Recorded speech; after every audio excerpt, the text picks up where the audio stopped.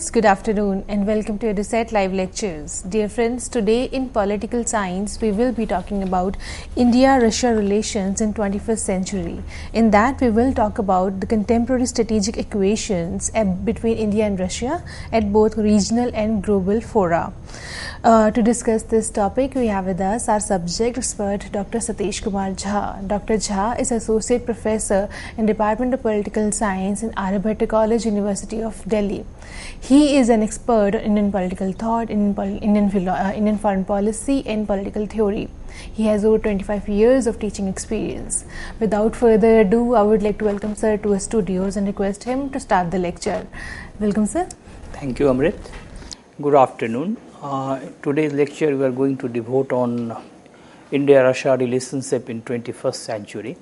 Particularly, you know, we'll be discussing both convergence and divergence of their approaches and interests uh, in this century, the 21st century. In fact, when we talk of uh, Russia in the relationship, uh, we have to take into account, uh, you know, the seven decades old engagement of India with former Soviet Union because Russia for all practical purposes is considered as a successor state of Soviet Union. Of course, with lot of differences and divergences in their uh, respective uh, approaches.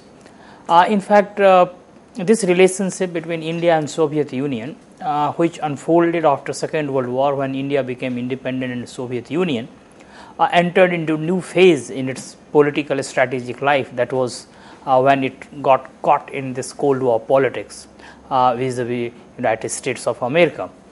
But that period also, the period when Soviet Union was one of the superpower, uh, of the world and was taking on United States of America and US led Western Bloc. Even in that period, its relationship with India was not uniform or very smooth.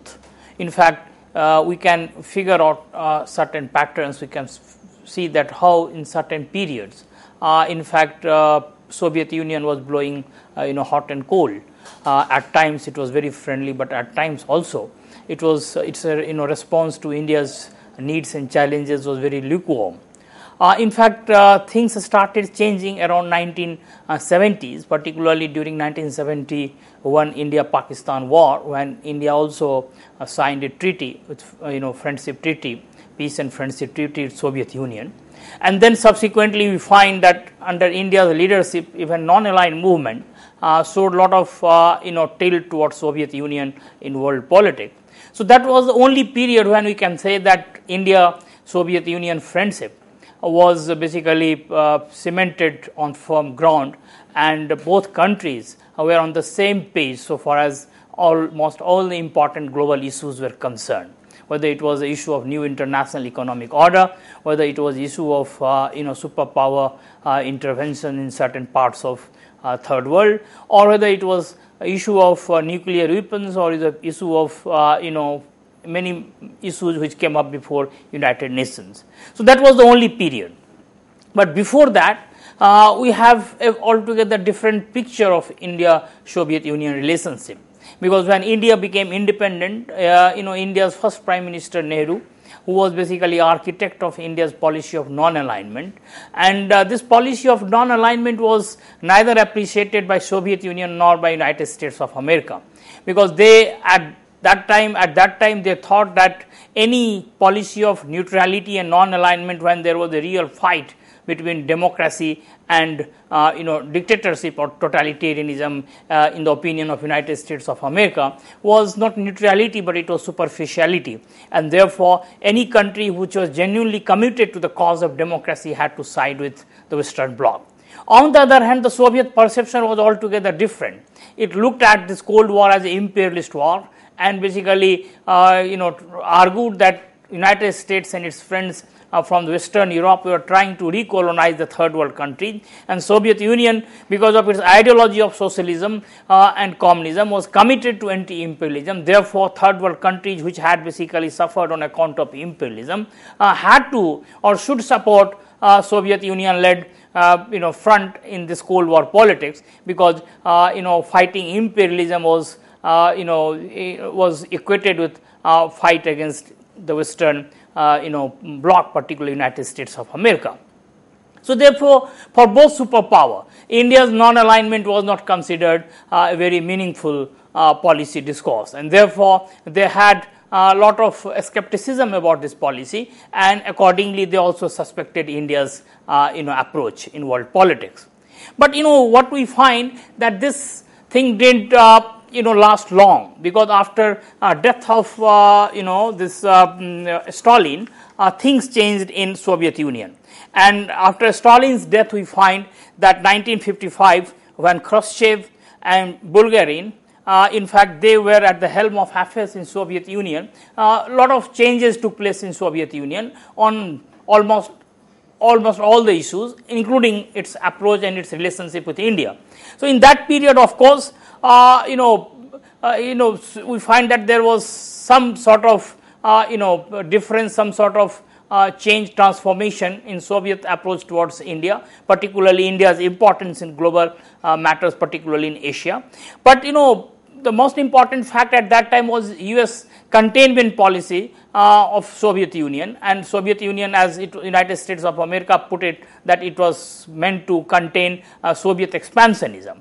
So that, that was the part of the Cold War politics. But what basically I try to you know argue here that post Stalin period uh, the kind of approach which Stalin had adopted towards India, in spite of, interestingly, uh, some similarities in approach. And one of the important similarity one can find in you know India's planned economic development, because India had uh, gone for a planned economic development after independence, and state you know intervention in economy state controlled economy uh, what in, in known uh, what is known in india as mixed economy. All these things uh, you know had a lot of similarities with the kind of uh, approach or kind of policy which Soviet Union was pursuing in economy. Rather, in matter of planning, Soviet Union was one of the biggest inspiration for India, apart from some indigenous resources, which were also marshaled for ushering in new uh, policy in economy.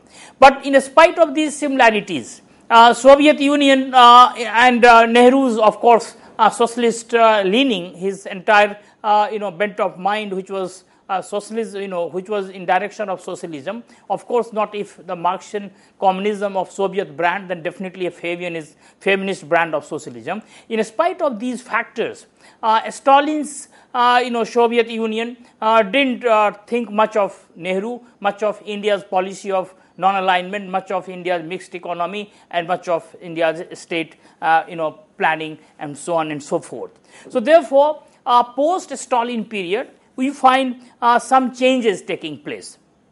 But th- those changes uh, were not that significant because we find uh, that immediately, uh, you know, uh, Soviet Union started cultivating Pakistan. Uh, in fact, particularly after 1962 war, we find that when India entire security got exposed and India was in dire need of basically uh, keeping its security in place and therefore uh, turned westward. Of course, it was disappointed on that front also, but nonetheless, it turned westward and it was around that time that Soviet Union thought that India was perhaps now leaning towards the west and it started cultivating uh, you know Pakistan. 1965 war as it is well known that Soviet Union even brokered uh, a treaty, uh, you know, uh, a pact between India and Pakistan, that is the Tashkent Pact. But uh, you know, post 1965 period also you find uh, that uh, started around 1962, continued after 1965, that Soviet Union uh, was sending a friendly overture to China. Rather, it was trying to cultivate uh, friendly overture to Pakistan. Rather, it was trying to cultivate Pakistan. Things started ch- changing only in 1971 war or before that, and there were two important factors. One important factor was the global and to some extent having some regional uh, you know uh, implication. That was this new and you know uh, kind of detente which took place uh, between united states of america and china.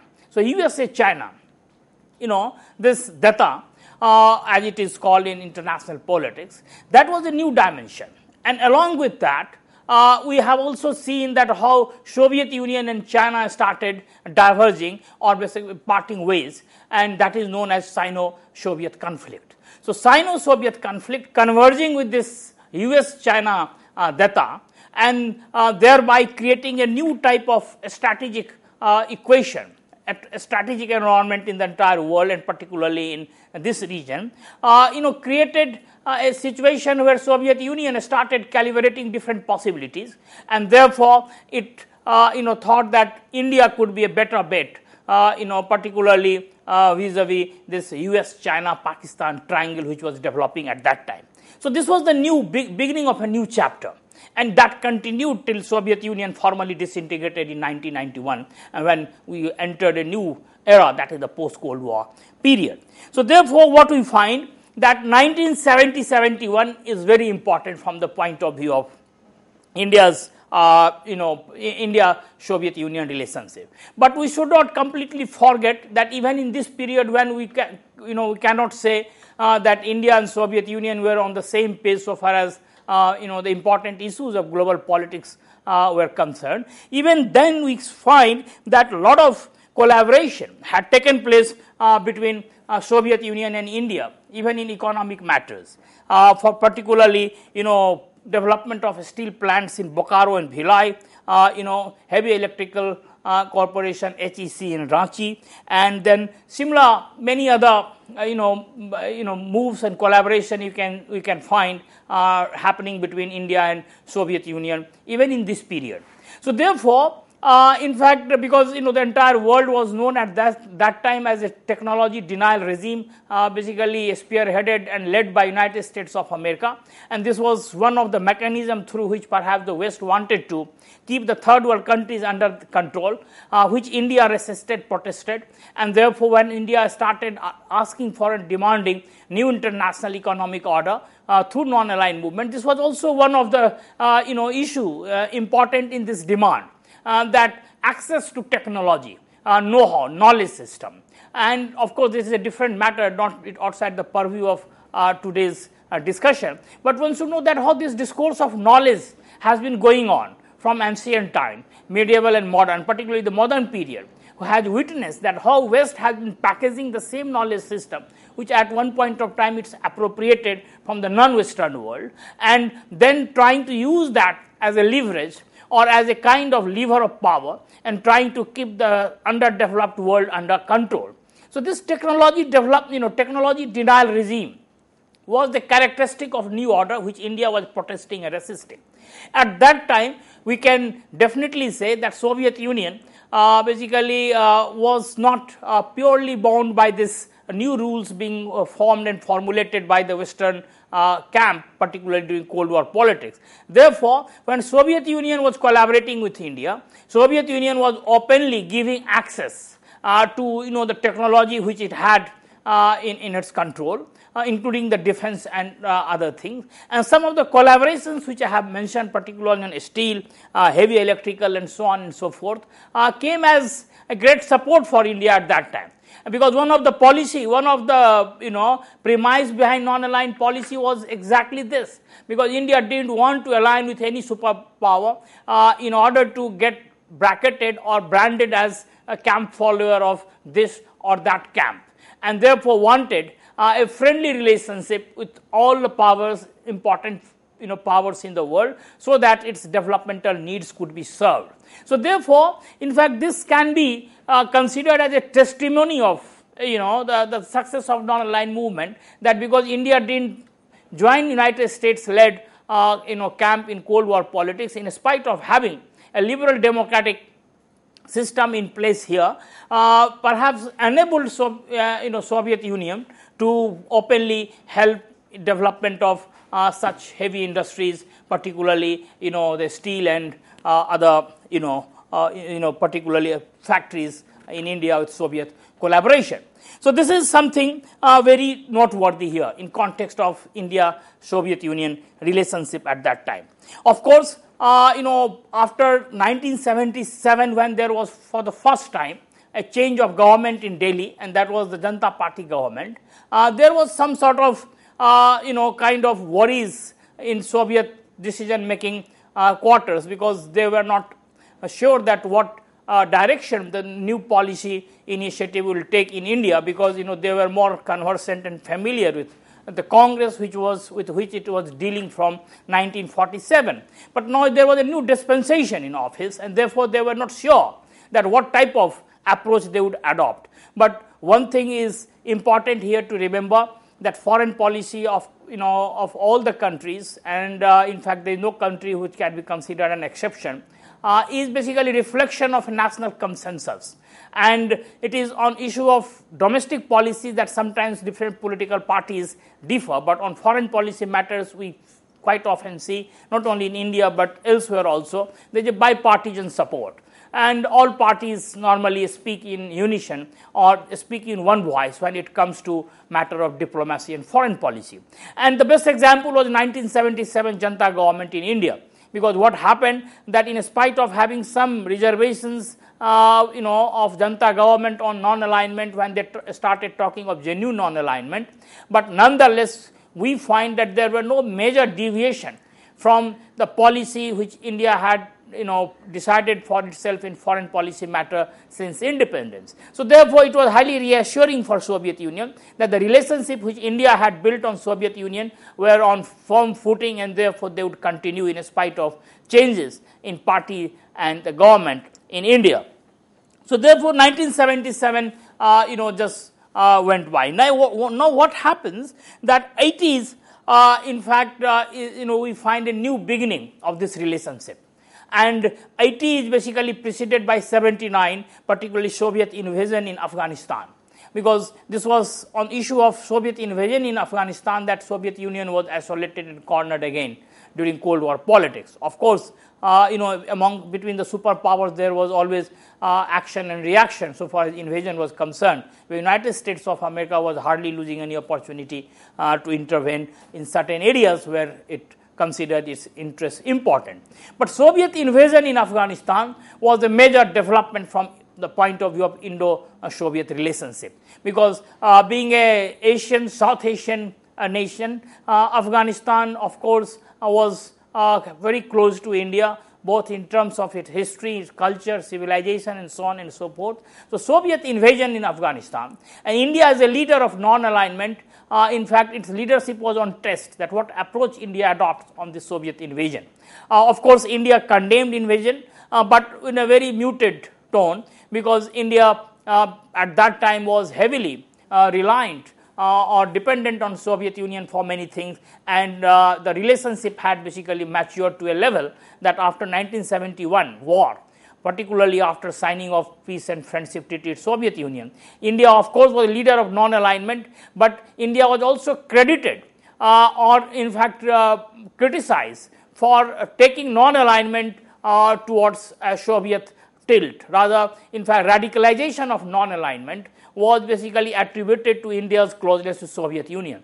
Many, many scholars have started arguing that this radicalization which is basically understood in terms of anti-West rhetoric of non-alignment in 70s was basically fallout of growing closeness uh, between India and Soviet Union. So 1979 invasion, the Soviet invasion in Afghanistan was a major turning point because it had a lot of implications and manifestations for India's foreign policy as well as for Soviet India relationship. We will discuss all these issues uh, in our lecture, uh, but particularly when we'll take up the contemporary concerns, particularly the relationship between Russia and India. Because as I mentioned in the very beginning, the Russia is considered as a successor state of Soviet Union, though of course with many differences, ideological, strategic, and in terms of capability, but nonetheless, so Russia is considered a successor state of Soviet Union. So 79 uh, is a major uh, turning point the same way in the same way as 71 is a major turning point.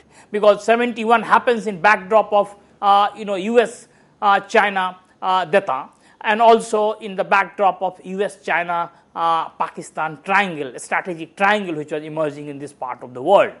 Now 1979 this Afghanistan invasion has different stories uh, to support it.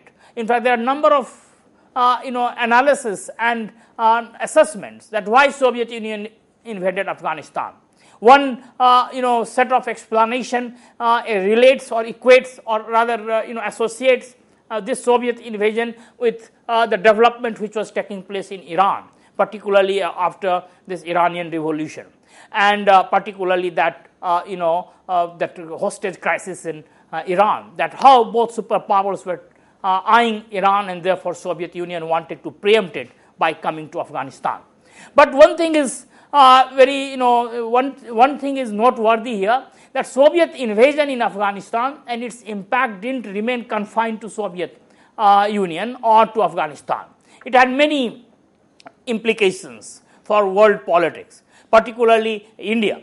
Uh, in fact, uh, this entire radicalization of South Asia, which has taken place in terms of religious terms in recent years, which has also uh, snowballed into a bigger problem of uh, terrorism, was fallout of the Soviet invasion. Because in order to counter Soviet forces, what United States of America did that it created a new set of army that was Mujahideen, army of Mujahideen, the religious uh, fighters uh, against Soviet Union and supported it with arms and ammunitions. And Pakistan became a frontline state, or one can say the most important uh, state from the point of view of United States of America in this fight against uh, Soviet uh, army and Soviet invasion in Afghanistan. So, therefore, this Soviet invasion brought Cold War politics on India's doorstep. And therefore, we can see that how a Soviet invasion in Afghanistan completely uh, transformed this entire strategic uh, equation, strategic situation in South Asia.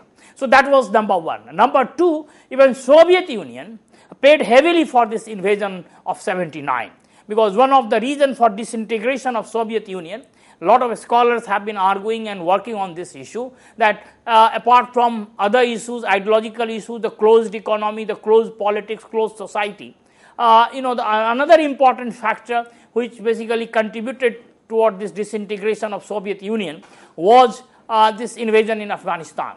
Because the kind of involvement uh, you know United Soviet Union uh, had to do through this invasion, uh, its economy was not in a position to sustain it, and therefore it uh, you know it had to pay heavily uh, for this invasion.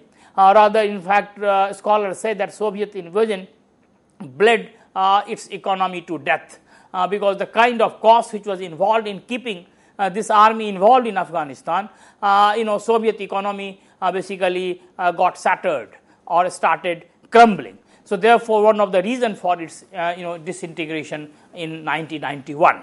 But what is important from the point of view of this Indo-Soviet relationship that after 79, uh, we find that this relationship which started growing after peace and friendship treaty of 71 uh, or uh, you know 71 war and uh, before that this peace and friendship treaty uh, got further solidified and 1980s on the one hand we find the radicalization of non-alignment uh, through its rhetoric anti-west west rhetoric with number of demands uh, which basically hurt uh, US and uh, its Western allies' interests, including new international economic order. On the other hand, we find that close collaboration uh, between Soviet Union and India on number of issues, uh, along with, uh, most importantly, the defense, you know, related trade, and also, you know, collaboration and cooperation on number of issues, including space, nuclear weapons, and so on and so forth. The only you know issue on which one can say that in spite of this growing uh, friendship, the track two diplomacy never picked up the way perhaps it uh, should have picked up. Uh, because state uh, track two diplomacy means civil society to civil society interaction. Of course, one of the major hindrances uh, might have been uh, or perhaps was the language. but nonetheless, we can see that there were number of forums, number of bodies which were working for uh, bringing these, the two societies together. Uh, but still, uh, track two diplomacy was nowhere what today we find in reference to India's growing you know, friendship with the Western world, particularly United States of America. But in other issues and other matters, the relationship was growing from a strength to a strength. So 1980s went uh, like this. But of course, 1985, as we know, uh, with the advent of Gorbachev on the political horizon, Soviet Union was in for a major change. And the two important changes which were heralded there, one was glasnost, that is openness in politics, another perestroika, that is restructuring of economy. These two changes uh, you know, which happened in Soviet Union 1985 onwards, uh, completely transformed uh, both Soviet Union as a power, major superpower, as well as uh, its relationship with other countries. But still, we must acknowledge and must say that in spite of these two important changes taking place in Soviet Union, Soviet relationship with India uh, remained on, uh, you know, on a very sound uh, basis, on sound footing, and uh, you know didn't, completely alter the old equation and old friends, friendship. Uh, that was basically reflected in the exchange of visits by the leaders of both countries uh, you know, uh, including uh, you know Gorbachev visit to India and signing of that famous you know agreement under which this nuclear project or nuclear you know collaboration at Kudankulam was signed. So this is how you know we can say that 80s you know went by, but in the particularly when 80 was drawing to close, we find number of significant changes were taking place in the world. Entire Eastern Bloc Soviet controlled Eastern Bloc was disintegrating.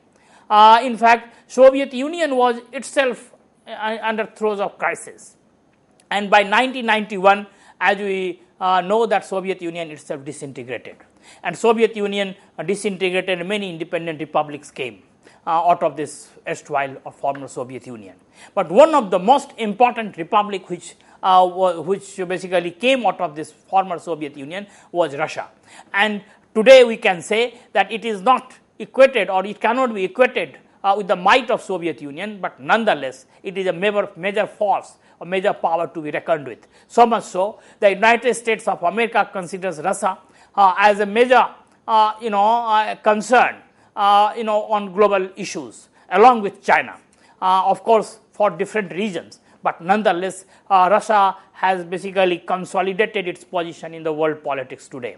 Uh, of course, uh, right now we cannot say that Russia's relationship with United States of America is in the same way or in the same at, at, at, the same level as Soviet Union had with the United States of America during Cold War period. But nonetheless, when Russian President Putin, uh, while addressing the parliament, uh, characterizes or basically calls the approach of West towards Russia as policy of containment, one is reminded of the Cold War rhetoric and Cold War politics. So, this is how Russia has emerged as a successor state and the most important state uh, today uh, out of the former Soviet Union.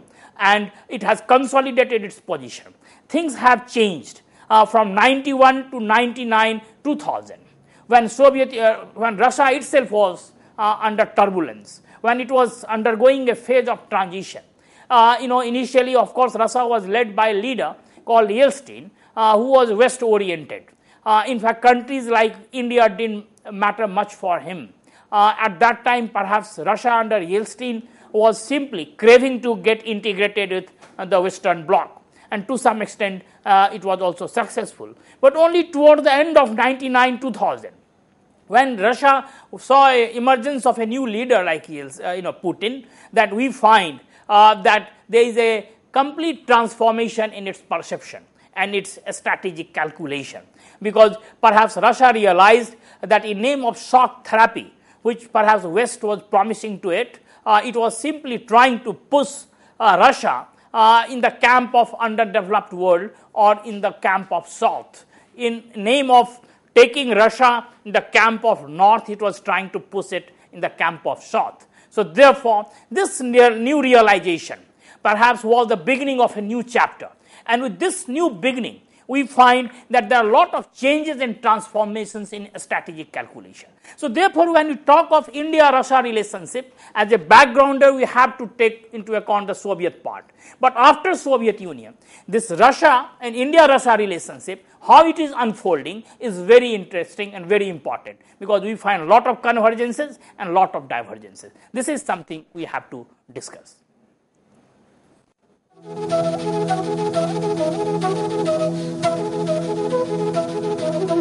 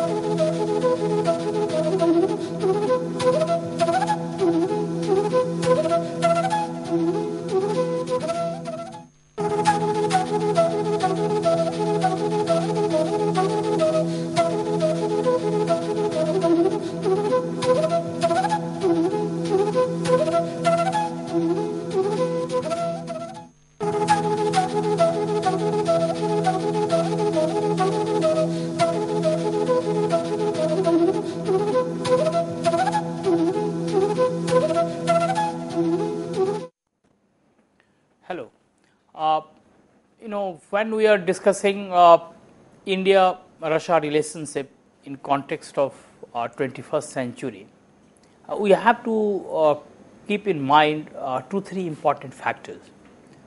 That neither Russia is the same Russia or Russia is Soviet Union. Now, India of 2017 is same India of 1970s, 60s, 70s and 80s both countries have changed. And accordingly, uh, the climate under which a foreign policy operates, uh, both regional and global, uh, that has also got altered. Within this altered global and regional strategic uh, environment, uh, we have to see that how India and Russia are basically operating and working. Because one thing is very important in foreign policy that no country uh, would like to sacrifice its national interest for friendship with any country. Because national interest is perhaps the, perhaps the most important driving force. And accordingly, uh, we have to see that how countries harmonize their national interest with other concerns. So therefore, in fact, while discussing India-Russia relationship today, we have to see that what are their concerns, what are the areas in which some sort of mutuality happens, and what are the areas uh, which are the areas of concern because where we find a lot of divergences. So therefore, uh, in fact, this is important to remember when we are discussing India-Russia relationship in 21st century. Now, one thing is uh, to be borne in mind that both Russia and India are sovereign entities in world politics. Uh, they have their own priorities, they have their own concern, concerns. It is a fact that India and Soviet Union, which was perhaps uh, you know the predecessor of Russia, or one can say that Russia is a successor state of Soviet Union, had a different type of uh, you know relationship. And even today, when heads of the two countries meet, they basically uh, go in nostalgia. Uh, in fact, that nostalgia to some extent is also valid one because often history cannot be completely uh, you know blacked out history cannot be completely forgotten. So, that nostalgia is important, but that nostalgia should be used as a creative resource to build a future engagement. Uh, that nostalgia should be uh, used to create a new framework for their relationship in coming years because this is going to matter because one thing is very important that neither India and nor Russia today uh, will simply brush aside or brush under the carpet all their concerns in name of that nostalgia, the you know the glorious days of India-Soviet uh, relationship. So therefore, what are the concerns? Uh, what are the areas on which they can build their relationship? This is uh, going to be uh, important for future, and we'll basically uh, focus on this issue. But before that, uh, we should keep in mind that how Russia has today consolidated its position in world politics. This is also interesting because as uh, we have seen that the disintegration of Soviet Union created a kind of crisis in that part of the world. Uh, entire uh, Eastern Europe uh, became you know site of uh, conflict and uh, conflagration. in fact, one can say that disintegration of Soviet Union opened a Pandora box of issues and crises. Russia was also not immune. We have seen what happened in Bosnia. We have seen what happened in Kosovo. We have seen uh, how NATO uh, reacted to these things. Uh, how, in name of humanitarian intervention, Western powers, in fact, uh, intervened in the entire Eastern Europe and tried to uh, bring peace and uh, you know order. The managed democracy it was called by Russia. So what happens that in that period Russia was also undergoing a lot of changes and transformations. It, its economy was still shaky. Uh, it was in a period of transition. It had a leader like Yeltsin uh, who was West oriented. Uh, it wanted uh, Russia to join the Western camp. But only later, Russia realized uh, that, you know, in name of taking Russia in the Western bloc, what West was basically intending to do was to push Russia in the camp of underdeveloped and the weak economies of South. And therefore, this new realization completely transformed entire uh, perspective and approach with Russia developed on world politics. And uh, subsequently, we find that under the leadership of Putin, uh, what happens that Russia uh, starts flexing its muscle and on many issues, in fact, starts challenging and questioning uh, American approach on world politics, be it Iraq or Syria, the current crisis which is going on in Syria, or even in Afghanistan. In spite of his, its bitter experience in Afghanistan, particularly after its invasion during the Cold War period, even today, uh, Russia, uh, of course, is uh, you know quite uh, conscious, quite worried, uh, you know, uh, and particularly quite vigilant about all the developments which are taking place in Afghanistan particularly the main concern of Russia in Afghanistan is basically the drug trafficking. Therefore, it doesn't want to you know keep its hands off the Afghanistan matter. Of course, it is also not interested uh, or it, uh, it also doesn't want to get involved in Afghanistan perhaps the way it got involved in 79 and in subsequent period.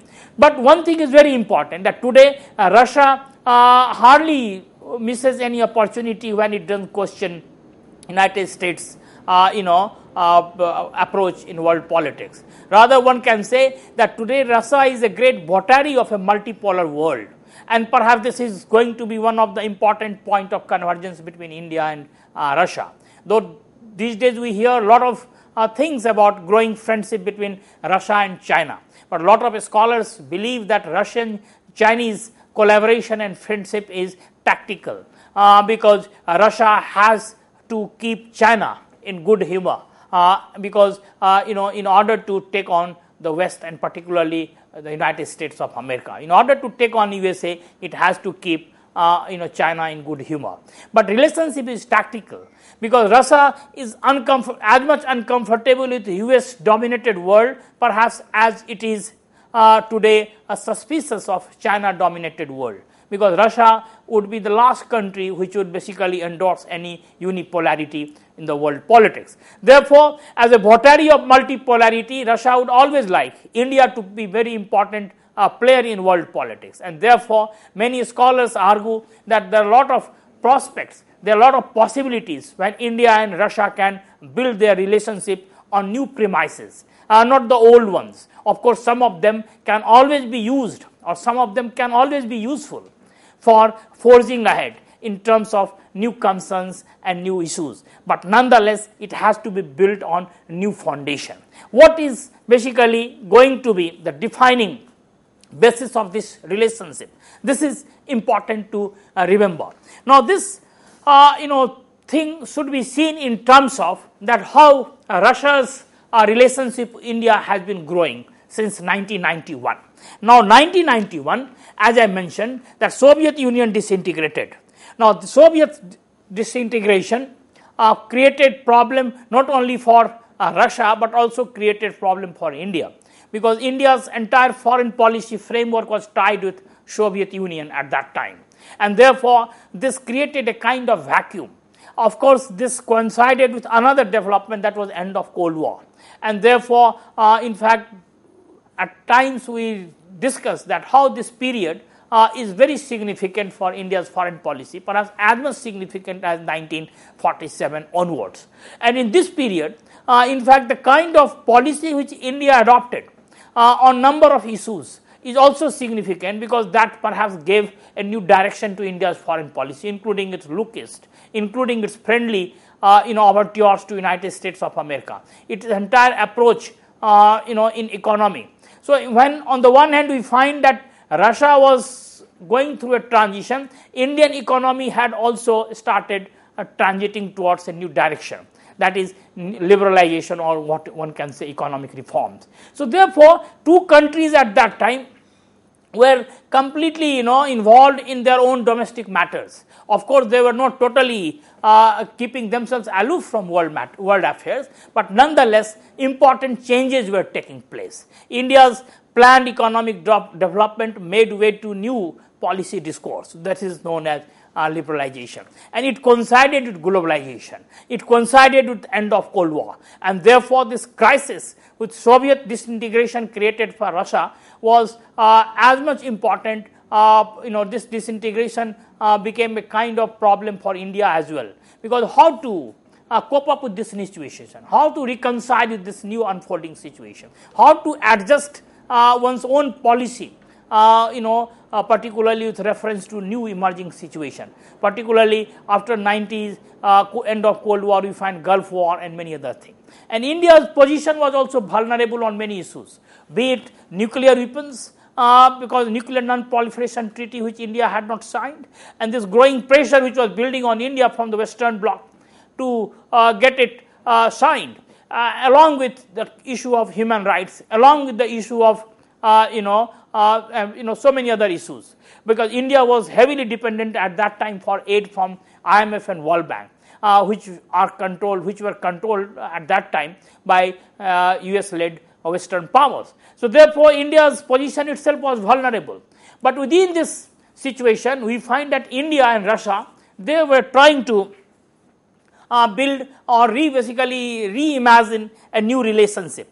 Of course, this reimagination was not easy, and that can be seen in terms of uh, you know the initial setbacks, initial a coldness, which one can say, particularly during the period of Yeltsin. Because when Yeltsin visited India in 1993, what we find uh, that a uh, lot of new negotiations happened between India and Yeltsin, uh, uh, India and Russia under Yeltsin. Uh, in fact, uh, ruble rupee trade issue was reopened. It was got negotiated. At that time, Russia was in lot of uncertainty and turbulence. Therefore, an agreement was signed under which a tripartite uh, you know, arrangement was made between Russia, India, and uh, you know the particularly the company uh, which was going to sign any trade, particularly in defense matter, because India's defense equipments were heavily uh, you know dependent on, uh, on on on defense trade with erstwhile Soviet Union, and that had to continue during the this new phase. So therefore, on matter of technology, in fact, India's earlier dependence was another major concern that what approach Russia would take. Uh, on of course 1992 uh, on issue of uh, nuclear weapons. Uh, in fact, Western powers started pressurizing Yeltsin and uh, Russia to basically uh, to deny access to nuclear you know technology uh, particularly you know during Gorbachev's visit of 1985 as I mentioned Kudankulam ag- agreement was signed. So this new pressure by nuclear supply group NSG uh, on Russia uh, and Yeltsin was favorably disposed towards West. So this was a new situation. Of course, Kudankulam was exempted from the purview of the new pressure. But nonetheless, we find that on issue of cryogenic engine, uh, the Russia uh, catapulted uh, or succumbed to this pressure and therefore that was uh, denied to India. So I'm, I mean on number of issues from ruble rupee trade to defense related trade to you know other issues of concern on which perhaps earlier India had taken Soviet Union for granted, the friendship for granted. India always thought that Soviet Union would simply not heed any advice or any pressure from the Western Bloc. Perhaps didn't work now because Russia was uh, more and more getting pressurized by uh, the Western powers. So, this is how uh, this happened. Now, in 1998, when India took a major decision, that was a Pokhran 2, the nuclear you know, explosion, a nuclear test in Pokhran. And uh, when India attracted a lot of sanction from the Western Bloc, uh, India was, of course, uh, perhaps India's entire diplomatic skill was on test. And it was around that time when, when India's emissaries uh, started visiting different countries to solicit support. India's uh, you, know, you know, principal secretary of the prime minister at that time, because Atal Bihari Vajpayee, the NDA government was uh, in power, and the principal secretary and national security advisor Brajesh Mishra, when he visited Moscow, the response of Soviet Union was quite, uh, response of Russia was quite cold. Uh, in fact, uh, it came as a big disappointment to India because India thought that like Soviet Union, perhaps Russia would also show some warmth and would come for its rescue. But interestingly, this Russian anger didn't last long, and immediately we find that Russia, along with France, another important Western power, uh, which has uh, often shows a lot of understanding uh, towards India's concern. Uh, in fact, Russia and France started working within major fora particularly uh, those forums uh, which were involved in this new game of sanctions and new game to isolate India after Pokhran 2. For example, P5, you know, then G8, United Nations Security Council, and so on and so forth. Both Russia and France worked to basically get India back into uh, in, the, in the fold of uh, you know uh, this uh, these countries were basically at the helm of affairs. But one thing is there. In spite of Russia anger not lasting long, in spite of the fact that Russia started working uh, in India's interest or started uh, convincing uh, its Western friends that you know isolating India would not be a good uh, you know diplomatic move in world politics rather in fact engaging india bringing uh, India or taking India on board and then pushing this agenda of nuclear non-proliferation would be more meaningful exercise in world politics. But one thing is very clear that message which was sent out after this cold response of Russia after Brajesh Mishra's uh, visit to Moscow in 1998, the message was loud and clear. The message was that India would, could not take Russia for granted. Uh, Russia, India could no longer take Russia for granted the way perhaps it was taking Soviet Union. So therefore, now India has to recalibrate and re-strategize the entire thing, particularly its relationship with Russia.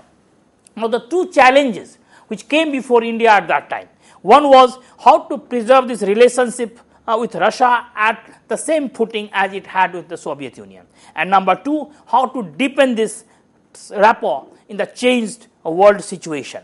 Now, uh, one can say today uh, that India can take some pride in the fact that it has salvaged the core of, core of India-Russia relationship, but still there is a lot to be done. As I mentioned, when this, you know, this year, 2017, when 18th annual summit between Russia and uh, India ended, we still we again found that old uh, you know you know nostalgia of the glorious days.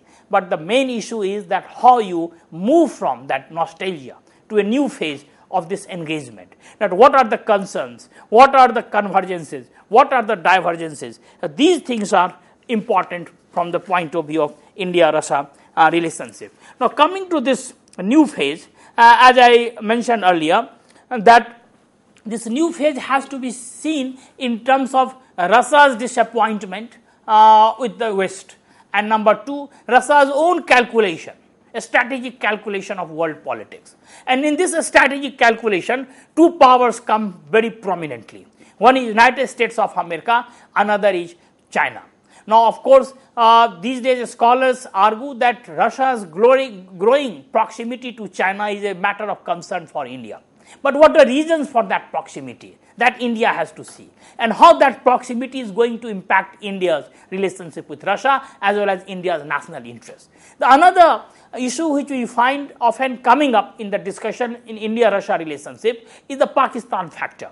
That you know scholars also argue that now there is a growing, uh, you know, kind of growing friendship, or one can say that closeness, growing closeness between Russia and Pakistan, and that is also a matter of concern because Pakistan and India, uh, of course, have many conflictual, uh, you know, many issues on which uh, they are basically not on the same page, uh, apart from this dispute on, uh, you know, border and other things. But on this issue of friendship, the growing closeness between Russia and uh, Pakistan, uh, India becomes little bit emotional and sensitive because India feels that Soviet Union was a trusted ally, trusted friend, and therefore Russia should continue the same friendship. But one has to again see that uh, what are the concerns of Russia because as I mentioned in the very beginning that no country uh, would like to sacrifice its national interest to continue or preserve its friendship with any other country. So this applies to Russia, this applies to India. Now, what are the concerns of Russia and how this growing closeness with Pakistan are meeting those concerns? This India has to also analyze. And secondly, whether this closeness is going to impact India's national interests, India's security, India's friendship with Russia, this is another important issue. So, these issues have to be kept in mind along with the fact that how India and Russia can bolster its relationship, its economic ties, its trade, uh, you know, uh, you know, trade related ties, uh, trade exchanges, apart from this only defense related exchanges, because this is a matter of concern that today uh, India's trade with Russia is not picking up in the same way as it has picked up uh, with China, the way it has picked up United, United States of America, the way it has picked up with uh, you know number of Western powers, European Union. Uh, so this is one thing. Even on defense today, one can say that India is of course an important market for uh, Russia. But then uh, today China is becoming a major market for uh, Russian defense related equipments. Uh, now today one can say that India has diversified its trading relationship in defense matter. Its relationship with uh, you know France, its relationship with Britain, its relationship with Israel, its relationship with United States of America is as important today as it Russia, but nonetheless we can say that still India's defense equipments are heavily tied to Russian manufacturers, uh, much Russian know-how. So this is one thing. The third, of course, is the new areas uh, which can be developed, uh, particularly in terms of energy, uh, in terms of security, uh, and so on and so forth. So therefore, these issues are concerned that how India and Russia moves in that direction of building this relationship on a new footing. Now, of course, when we talk of uh, today convergence and divergence. The convergence we find on defense, uh, particularly hardware and technology, trade and exchange. The convergence is we find on nuclear energy uh, because uh, nuclear energy, as we know, uh, that when India was isolated and when India was under sanction, it was only Russia uh, who perhaps spoke uh, you know, for India at that time, along with France and some other countries. On nuclear energy, Kudankulam, one of the oldest uh, collaboration uh, on nuclear energy with Soviet former Soviet Union, and that is still continuing. of course, then there is a question of oil and gas uh, which is also a matter of mutual benefit between the two countries. And then, most importantly, uh, the convergence we find in the uh, common approach towards the world politics, and that can be seen in terms of Russia India's quest for a multipolar world uh, particularly the kind of security architecture both India and Russia imagine for the world perhaps converges uh, to great extent because both India and Russia want a multipolar world, not a unipolar world.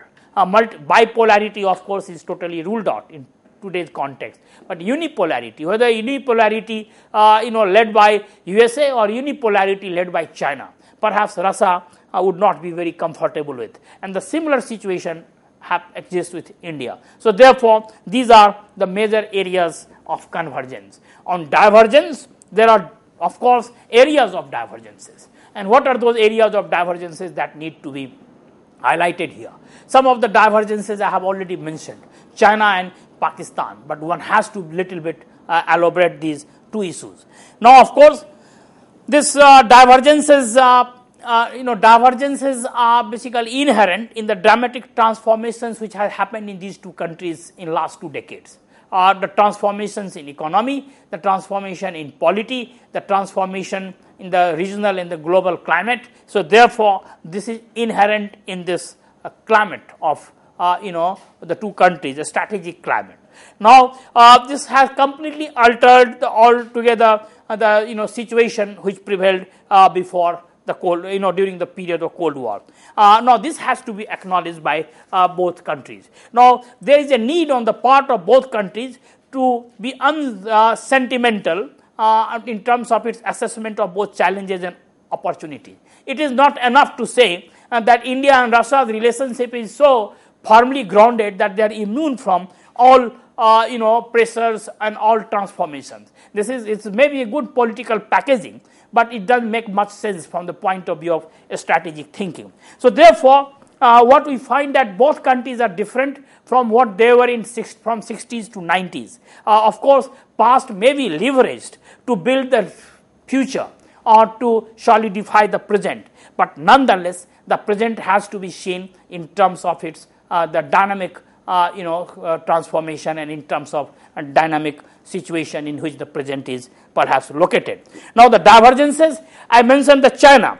Chinese threat had brought them together as we mentioned particularly after uh, you know US China uh, you know detente.